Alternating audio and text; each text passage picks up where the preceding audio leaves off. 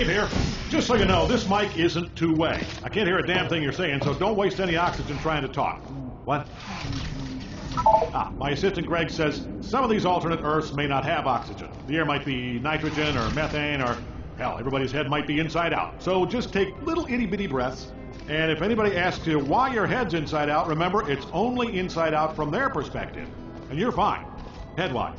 Trouble-wise, you're in a lot of it, and you should probably run. All right, enough hypotheticals. Let's test this test.